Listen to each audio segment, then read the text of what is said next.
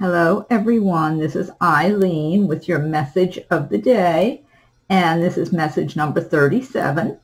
All of these messages are timeless. I'm using a combination of tarot cards, oracle cards, and angel cards for your messages. And today's message is intention. And I'm going to read from the booklet.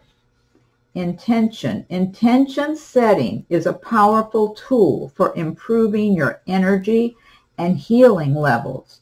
When you focus your thoughts and actions with purpose, you increase the chance of achieving your goals. Intention setting can be done throughout your day.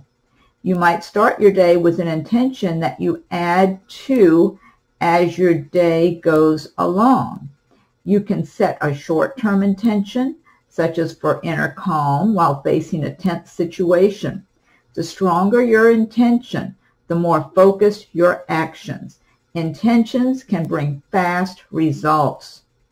Setting strong intentions does not mean controlling people or situations.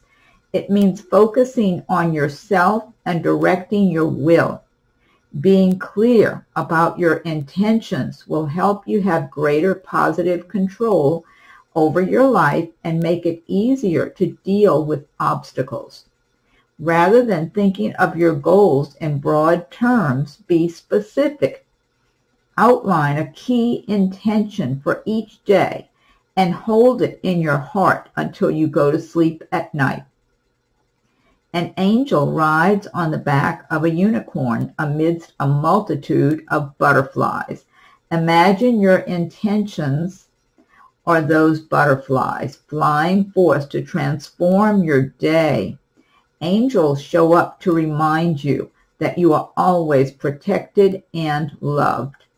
The unicorn represents the magic that is held within your intentions. The angel wears iris in her hair to symbolize faith and hope. The images adorning the angel's wings speak to your intentions.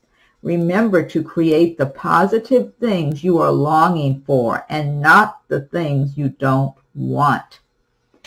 I love this message. Wonderful message. This is from Whispers of Healing by Angela Hartfield.